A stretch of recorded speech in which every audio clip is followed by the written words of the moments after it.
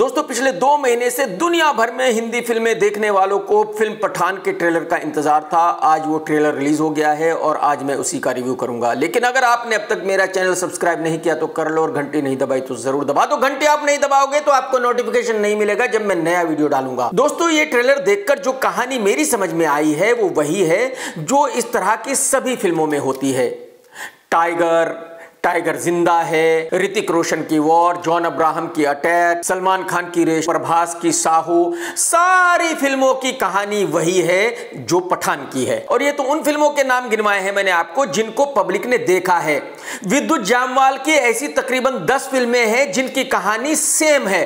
हाँ आप ये कह सकते हैं कि उस बेचारे की फ़िल्म तो कोई देखता ही नहीं तो किसी को क्या पता कि उनकी कहानी क्या थी? इन सभी फ़िल्मों की जो कहानी है, वो ये है कि भाई कुछ आतंकवादी हैं, वो हिंदुस्तान पर हमला करने वाले हैं, हिंदुस्तान को बर्बाद करने वाले हैं, और जो हमारे बॉलीवुड के हीरो हैं, वो हिंदुस्तान की एजेंसियों में काम करते हैं, और अब वो जाकर आतंकवादियों से टकराते हैं, उनको रोकते हैं, उनको तबाह कर देते हैं, हमेशा उनको हरा देते हैं। कभी खुद तो हारते ही नहीं, क्योंकि अगर खुद हारेंगे तो फ़िल्म बारह बजे रिलीज़ होगी, तीन बजे उतर जाएगी। पहले तो मैं शाहरुख खान साहब से ये पूछना चाहता हूँ कि भाई साहब, अगर आतंकवादी हिंदुस्तान पर हमला करने वाले हैं तो आपको क्या प्रॉब्लम है? हमारे हिंदुस्तान की मिलिट्री कैपेबल है किसी भी दुश्मन का नामो निशान मिटाने के लिए। तो आप क्यों परेशान हो रहे हो? आप उन आतंकवादियों से जाकर क्यों टकरा रहे हो? ये मेरी समझ से बाहर की बात है। और एक बॉलीवुड का आइकॉनिक डायलॉग है, वो इस फ़िल्म में भी है। कि अगर अब आतंकवादियों को कोई रोक सकता है तो बस वही एक आदमी है। भाई साहब, आप यकीन करें, बॉलीवुड इस डायलॉग को कम से कम 200 फ़िल्मों में यूज़ कर चुका है। कितने? 200 फ़िल्मों में। लेकिन बॉलीवुड थका नहीं है। इस डायलॉग की वाट लगा दी बॉलीवुड ने भाई साहब। अच्छा अब ट्रेलर के कुछ दृश्यों की बात कर लेते हैं।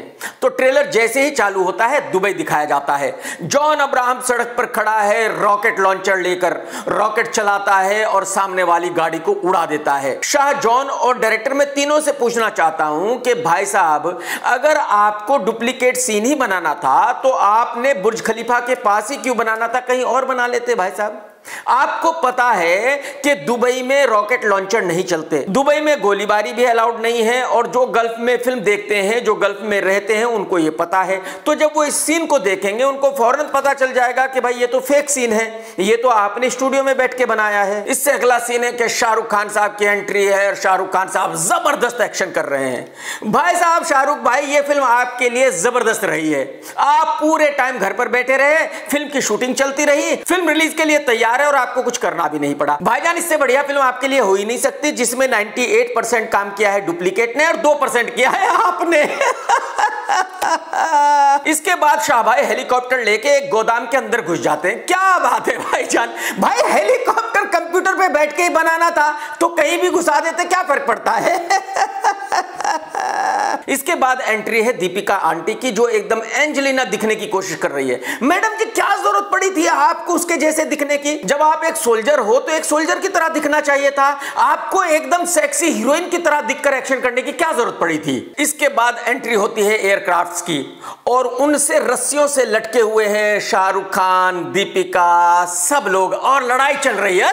भाई साहब, माफ़ कर दो गुरुजी। माफ़ कर दो शाह भाई शाह भाई जब आपके जन्मदिन पर पब्लिक आपके घर के सामने खड़ी होती है और आप ऊपर जाते हैं हाथ हिलाने के लिए तो वहाँ भी आपके दो तीन बॉडीगार्ड आपको पकड़ के ऊपर चढ़ाते हैं और वो सारे ही सीन सारी दुनिया ने देखे हुए हैं। तो पब्लिक आपसे ये भी तो पूछेगी कि भाई साहब, जब वहाँ चढ़ने के लिए आपको दो तीन आदमियों का सहारा लेना पड़ता है तो फिर आप एयरक्राफ्ट से कैसे लटक गए थे? मतलब झूठ की भी एक हद होती है, एक लिमिट होती है। कोई तो लिमिट रख लेते दोस्त। अब फिर से दुबई दिखाया जाता है और एक बस के ऊपर जॉन और शाहरुख खान खड़े हैं और दोनों भागकर एक दूसरे को मारते हैं। ये सीन भी फेक है। ये सीन भी स्टूडियो में बैठकर बनाया गया है, क्योंकि ये सीन करने की शाह भाई की एज ही नहीं है। साठ साल की उम्र में वो ये सब नहीं कर सकते, क्योंकि हड्डी टूट सकती है और हड्डी टूट जाएगी तो छह आठ महीने जुड़ेगी नहीं। इसके बाद सिद्धार्थ भाई फ़िल्म को उसी लोकेशन पर लेके जाते हैं, जहाँ पर वॉर शूट की गई थी, बर्फ़ ही बर्फ़। और ठीक वैसा ही एक्शन चालू होता है, जैसे कि वॉर में था। डायरेक्टर सिद्धार्थ आनंद ने इस फ़िल्म को भी तकरीबन उन्हीं लोकेशंस पर शूट किया है, जहाँ वॉर को शूट किया गया था। एक दुबई छोड़कर। वॉर की शूटिंग दुबई में नहीं हुई थी। और अब फाइनली ज़बरदस्त एक्शन शुरू होता है। हेलीकॉप्टर एक खिलौने की तरह घूमते हुए गिरता है और ब्रिज टूट जाता है। जो लोग कंप्यूटर गेम्स खेलते हैं, उनको पता है कि कंप्यूटर गेम जो है, वो इससे बढ़िया होता है। तो ये बहुत ही घटिया किस्म का वीएफएक्स है। अब डायलॉग बाजी शुरू होती है और जॉन अब्राहम कहता है, अपने भारत माँ को मेरा आखिरी सलाम कहना। और जवाब में शाह भाई का डायलॉग है कि एक सोल्जर ये नहीं पूछता कि देश ने उसके लिए क्या किया है।